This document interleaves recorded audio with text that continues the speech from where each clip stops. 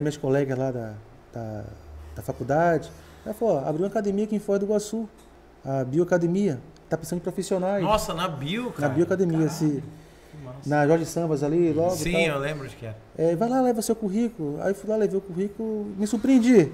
Já levei o currículo, já fui contratado. Só a em. bio era fortíssima, É. né, cara? Porra. E aí, só que aí, é o seguinte, a academia não tinha um aluno ainda, estava em fase de. inau- naquele, na- naquele, na- naquela fase para inaugurar, né? E aí, a academia não tinha metodologia, não tinha uma ficha de treinamento, Inscrição, nada. mais, tá. Era tudo a Deus dará. Pô, se você é profissional, você tem que usar técnica. Que ano que foi isso aí, cara? 2000 e... 2007. 2007, cara. 2007. E aí, tá, tudo bem. Aí o, o dono da academia, na época, falou pra mim assim, ó, a gente não pode pagar muito, a gente vai começar agora, tá? pra quem não tinha nada, velho. Entende? Caramba, falei, não, eu aceito. Não precisa da minha carteira, nada. Era 400 reais por mês, 4, 4 6 horas por dia, naquela época. Né? Como se fosse hoje 800 reais, né? 900 reais. Eu aceitei. Mas que não tinha nada, tava, era, já era alguma coisa. Você tava morando com a tua prima nessa época? Nessa, sempre, é, morava com minha morando prima. com a tua prima. Morava com minha prima. Aí, é, comecei a faculdade e trabalhar ao mesmo tempo nessa academia. Aí nisso, eu, eu graças a Deus, eu tenho orgulho de falar isso aí, eu montei toda a parte, mesmo sem ter essa-.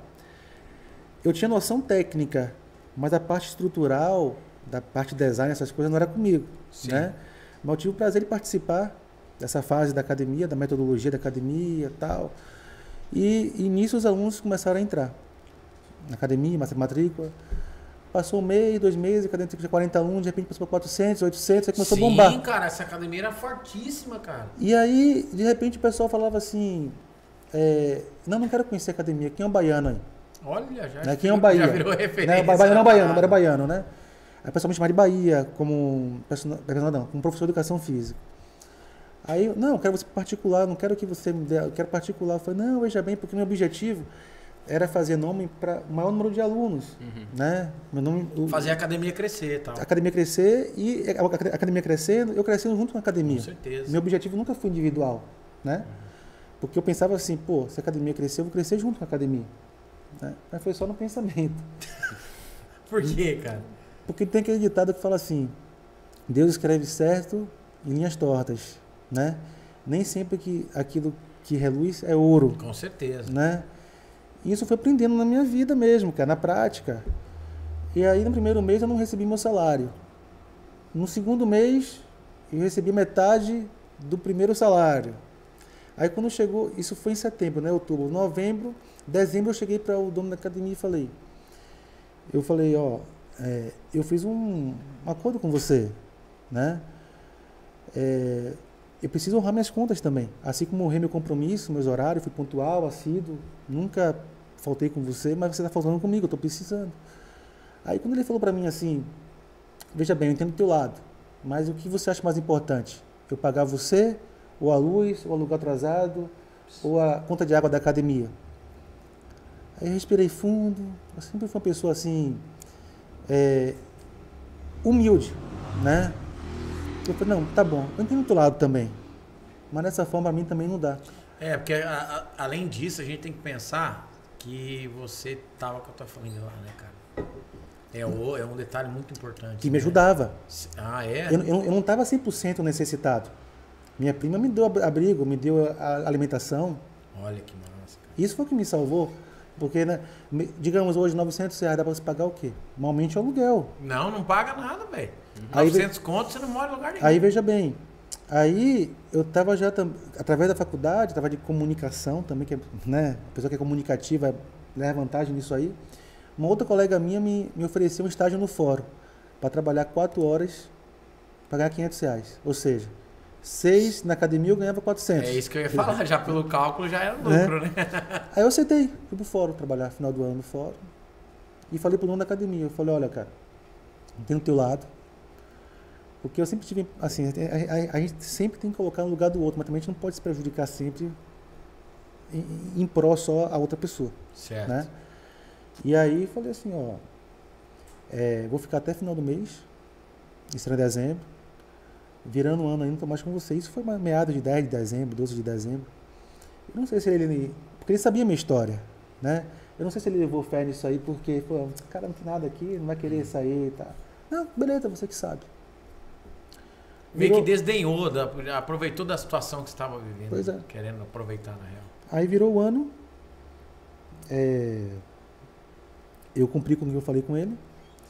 E, e aí fiquei só no fórum. Quando foi meados de 8 de janeiro, 12 de janeiro, que o pessoal começa a voltar de viagem da praia. Aí cadê o Bahia? Se eu quero sair. Magno, Rafa, eu te juro, cara. Choveu mensagem. Naquela época era Blackberry. É, assim, era o, é. o- a mensagem Cara, do Blackberry. Che- Chovia mensagem. Mensagem. Não, não, para particular, que não sei o que e tal. Aí eu comecei a pegar uns alunos em particular. Eu estagiava à tarde no fórum, pegava de manhã e à noite. Encheu tanto de aluno, né? Pra minha surpresa, assim, que um chamava o outro, não, o cara é bom. tá- E não era barato, não. Para personal barato, não. Eu sempre, eu, eu sempre, na época, eu cobrava acima da média, né? E aí começou a surgir clientes querendo horário que eu trabalhava no fórum. Que eu trabalhava no fórum. Aí falei, fiquei na dúvida, falei, pô, e aí? Aí comecei com minha mãe. Minha mãe é a melhor conselheira. Eu falei, mãe, o que é que eu faço de minha vida? Eu fico só de personal e peço para sair do fórum ou continuo como personal e no fórum e né, fazendo minha faculdade? Ela falou, filho, siga teu coração. Então os caminhos estão abertos, né? É sinal que você é um profissional Que a galera tá reconhecendo, Tá reconhecendo. né, tal. e vai de você, seja feliz, né? Pensei, pensei, eu falei, olha, entreguei a Deus, né? Se tiver que ser, vai ser. Larguei o fórum. Aí comecei a pegar só personal. Irmão, eu trabalhava das seis da manhã, cinco da manhã até meia-noite. Saía um cliente, entrava outro, saía um cliente, entrava outro. Às vezes o cliente meio-dia, na época, a Nancy já foi minha cliente. Olha aí que legal. Meio-dia na academia. Ela, professor, vai almoçar, professor. O Narcissa me espera, tá? 15 minutinhos, eu ia comer rapidinho, voltava para dar aula para ela, né? Aí dava o horário da faculdade à noite. É, eu pegava, ó, eu vou aqui rapidinho, vou fazendo cardio aqui, vou pegar a presença e já volto, né? Porque infelizmente minha faculdade de direito não foi igual a educação física. Educação física eu me dediquei de corpo e alma, cara. Aqui, sabe? além de, além de tudo, aqui você também tinha o lance da sobrevivência, né? Exatamente. E aí, é, é, pegava a presença, voltava para a academia de novo para dar minhas aulas. E, e nisso, você vê como, cara, as coisas vão, vão se Cara? encaixando, Nossa, encaixando. né? É, teve uma cliente minha mesmo naquela época, a Dolores, isso, veja bem, está comigo até hoje, 14 anos. Uma, uma pessoa chegou na academia assim, de forma humilde, simples, sem estar muito arrumado. Queria um personal. Ninguém deu valor para ela, ninguém nem olhou. Né? Eu estava com um árabe na hora dando aula para ele. Eu falei, fulano, você me dá só cinco minutinhos, só para falar com aquela senhora, ver o que ela quer e tal. Entender a senhora. Aí fui lá, não, queria um personal e tal. Eu falei, ó, eu sou personal trainer aqui na academia. O único horário que eu tinha livre. É, mas eu só tenho segunda, quarta e sexta, das 5 e meia às 6 e meia. Era perfeito tudo que eu quero. Caralho. Encaixou certinho essa cliente, cara. Tá comigo até hoje. Até hoje. Eu só parei de dar aula pra ela em duas oportunidades. Então Né, você assim, tá, além do, do, do outro trabalho na polícia, você continua fazendo o lance de personal Sempre, trainer. nunca larguei. Nunca larguei. Até porque, assim, eu junto o útil ao agradável. Ambos me dão satisfação. Com certeza. Mas como a gente vive em um mundo capitalista, a gente precisa também né, dar um conforto para nossa Com família. certeza. E nossos familiares também, né? Só- nossa família não se resume só em mulher e filhos.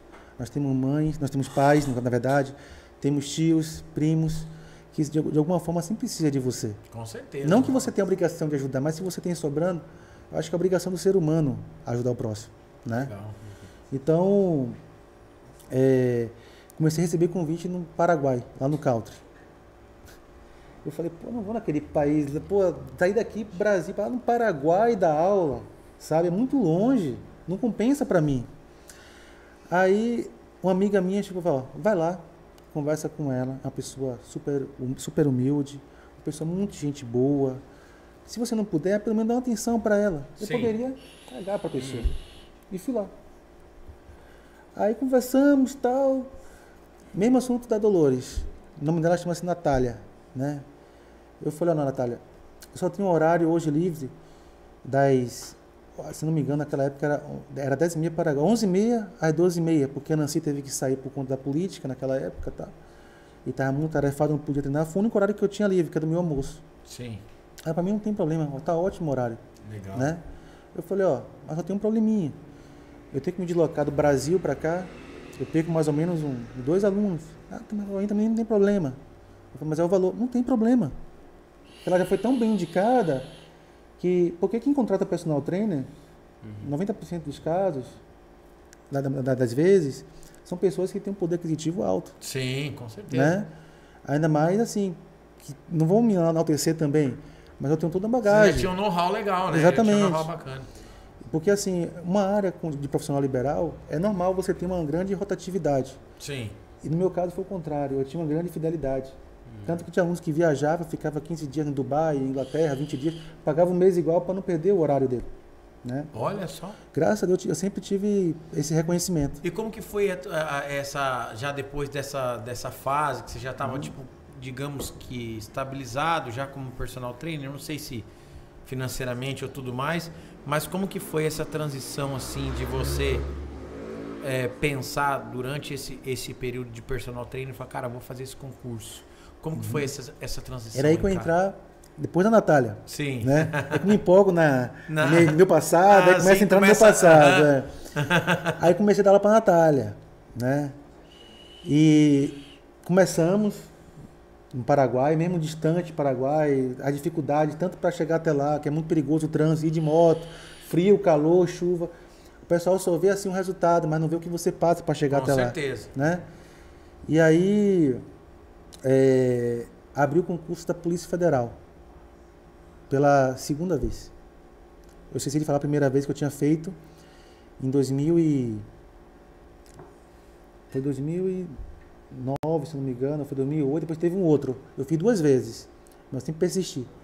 Porque eu- o, segredo da, o segredo da vida é você sempre persistir, nunca desistir. Porque a vida é cheia de obstáculos. Legal, cara. Para algumas pessoas pode até parecer ser mais fácil, algumas situações, alguns momentos. Tudo é relativo, depende de que lado você está, sua preparação, sua bagagem, mas enfim. Aí eu comecei a estudar.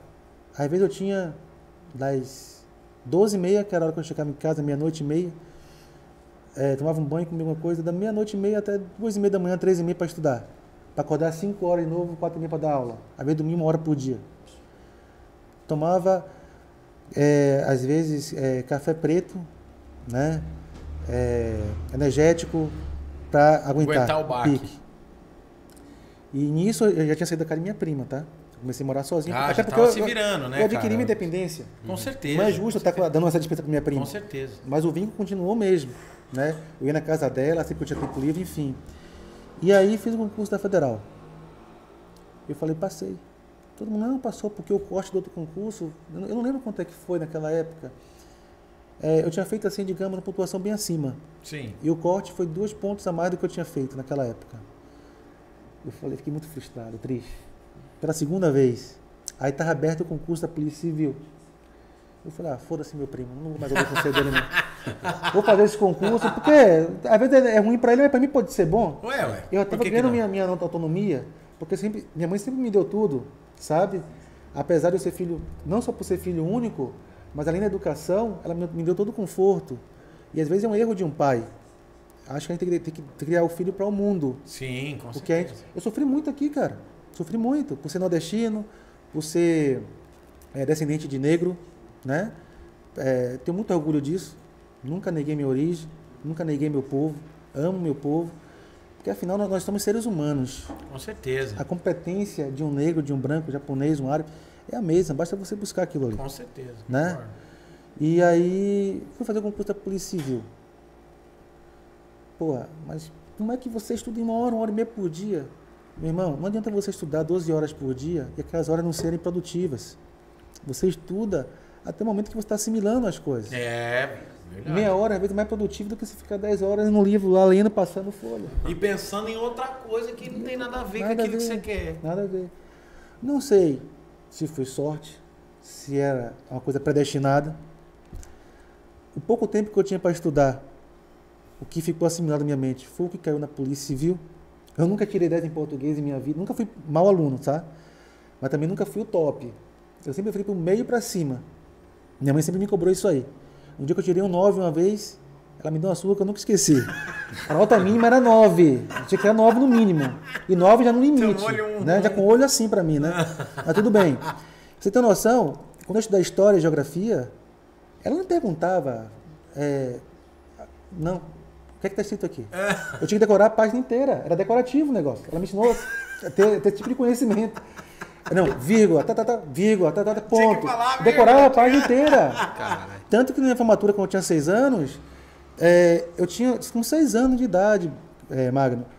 Eu comecei a ler, dobrei o papel, ela se emociona, até hoje ela fala disso aí. Olha que legal. Botei no bolso e falava, tudo estava no papel. Que legal. Sabe? cara, Que legal. E aí, não sei o que aconteceu, cara, tirei, gabaritei português. Olha aí. Aí, de repente, é, informática, raciocínio lógico, eu fui meia boca. Aí a parte de direito, muito embora eu tenha curso de direito, é, não tenho curso não, tá cursando curso de direito, eu não fui tão bem, mas fui acima da média ali. De- acho que de 25 questões de direito eu tinha feito, acho que 18, 19. Fiquei assim, é, eu falei, ó, aprovado, é, como é que chama? Classificado, não, aprovado, não, classificado, aprovado, um dos dois. Classificado eu tô, não sei se você é aprovado, né? E aí, de repente, veio a notícia boa, né? Eu fui aprovado que legal, cara. a Polícia Civil. Aí isso comuniquei meus alunos, né? Isso foi em 2009. Eu fui cham... Aí eu fui chamado em 2011, dois anos depois. Aí fui para Curitiba, na Polícia Civil. É... é assim que funciona. Pelo menos no meu concurso foi assim. Eu fui chamado, passei por todas aquelas etapas, né? Tanto a parte da prova, a prova teórica, aí tem a psicológica, Física, tudo física e tal. Aí quando você vai tomar posse em exercício, entrar em exercício, é, geralmente tem que ter escola de polícia. Mas na Polícia Civil aqui do Paraná, pelo fato da- do efetivo estar muito reduzido, Hum. eu tomei posse, entrei em exercício, não me deram arma nenhuma, mas me deram carteira de polícia. Eu já era polícia ali, né? Sério, Fala cara? assim, você vai trabalhar na parte administrativa, a parte interna, de plantão, em regime de 24 por 72. E isso foi no dia 19 de outubro de 2011. Meu aniversário é 24 de outubro de, do- de 24, 24 de outubro. No dia 24 de outubro de 2011 foi o primeiro dia de trabalho. Do dia do teu aniversário. É uma coisa que eu acho na área pré- predestinada. Cara, é, eu Nossa, acho. Mas assim, é, a-